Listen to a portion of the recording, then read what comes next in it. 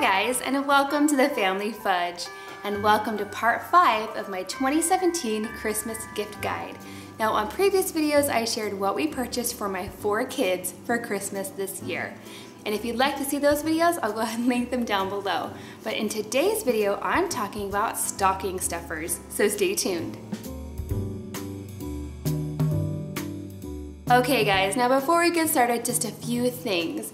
First off, our kids are still relatively young, they're seven and under. So in our house, Santa brings the stockings. So the ideas that I'm gonna show you today are just things that Santa would normally bring us, if you know what I mean. Now second of all, when Santa brings stockings, he likes to keep things even in our house. So you'll see some similar things throughout each of the stocking ideas.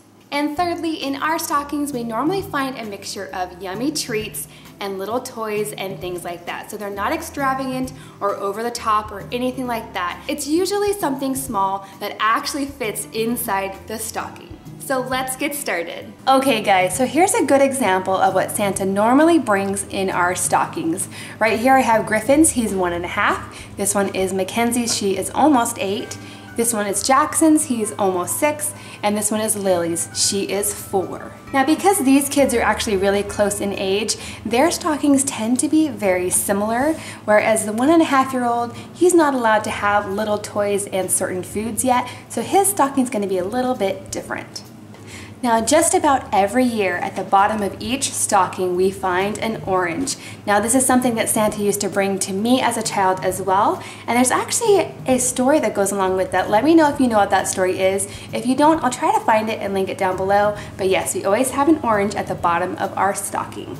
Next we normally have one or two sort of big ticket items. Now I say big ticket items but they're really not expensive at all and I like that these are sort of items that are going to last more than just a day, if you know what I mean. So first up, I have this race car kit. This is a Melissa and Doug painting kit, so you can make your own little race car. So this would be for Jackson. Then I also have this little create your own princess carriage. That one would be for Mackenzie. And then we have a paint your own butterfly kit. And this one would be for Lily. Now obviously my toddler is not coloring or painting yet, so instead of one of these, he's gonna get his own little remote control. Okay, so for our next sort of big ticket item, I have some Water Wows. Now these are actually really fun. These are also a Melissa and Doug product. And basically you just fill up this little pen with water. It has a little felt tipped on there. And then you can go ahead and paint or sort of paint these with water and this book will dry and the kids can actually use it over and over again. And it's no mess, you guys. So this one is animal themed, so this one would probably be Lily's.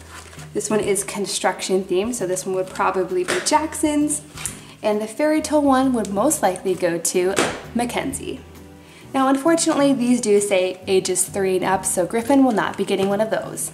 Next up we have some really fun socks. We love fun socks in our family. They're sort of a big deal to us. And so every year we give socks. Now these are actually magic socks. I don't know if you've heard about these, but I'll go ahead and link them down below. But basically these are compressed socks and then when you get them wet, they'll expand into regular size socks. So this cow one would most likely be for Lily. The butterfly one would most likely be for Mackenzie. We have a dinosaur one for Jackson and this cute little crab one for Griffin. Next up we have some books. Santa almost always brings us small books in our stockings and these are very similar to something that you might find at the Dollar Tree.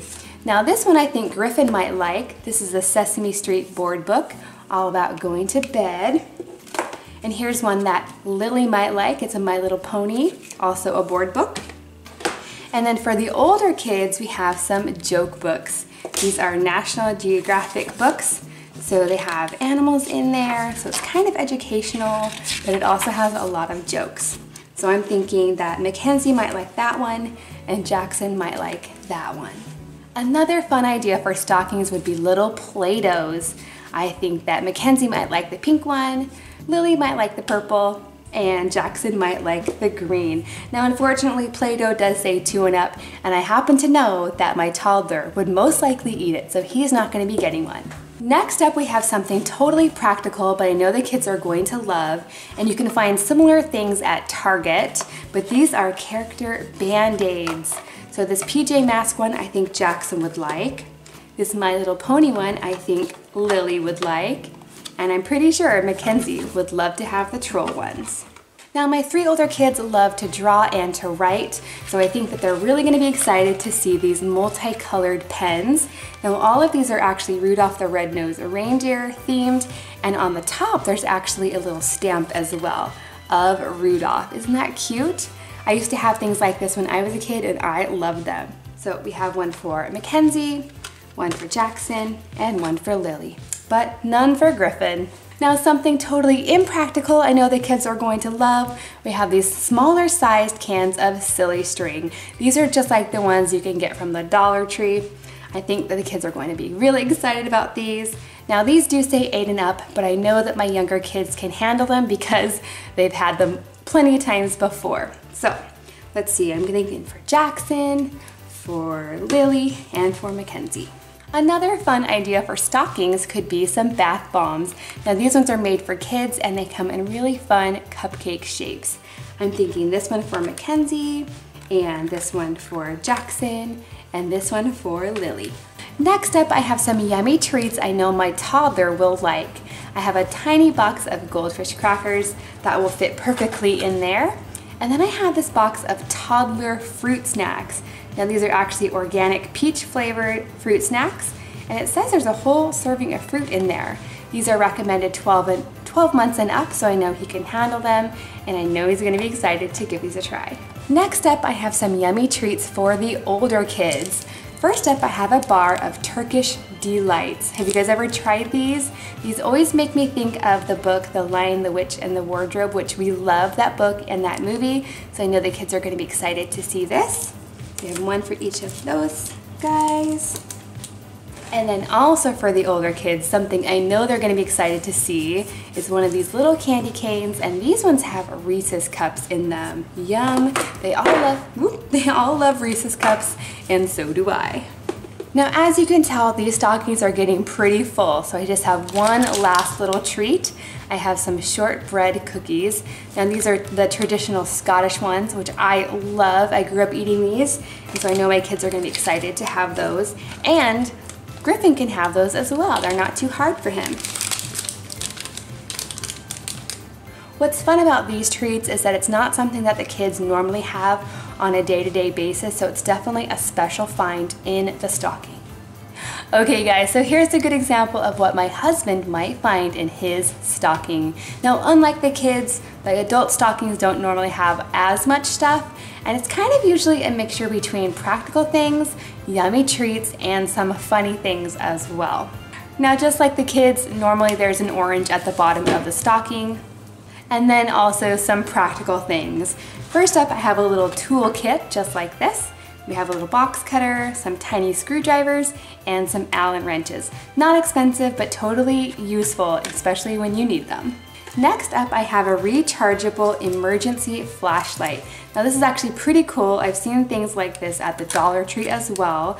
But basically you just unlock it like this, you turn it on, and then you can crank it like this with your hand, and it will recharge the light in there. So that would be great for an emergency. Now something useful that's also kind of funny, this is a bottle of Poo-Pourri. Now if you haven't seen the commercials for Poo-Pourri, you should go and look them up after this video because those commercials are really funny. And that's all I'm gonna say about the Poo-Pourri. I'm sure he's gonna think it's funny. Now also sort of in the funny category, we have a bag of coal. Now he also might get his favorite kind of chocolate, which are these guys. These are the assorted Lindt Lindor balls. These are really tasty. And this one has three different flavors, milk chocolate, dark chocolate, and white chocolate. Definitely his favorite. And then we have some pistachios. Almost every year he'll find a small bag in his stocking as well as some rice candies. He really likes these candies. They're kind of old and hard to find, but yeah, he really likes those.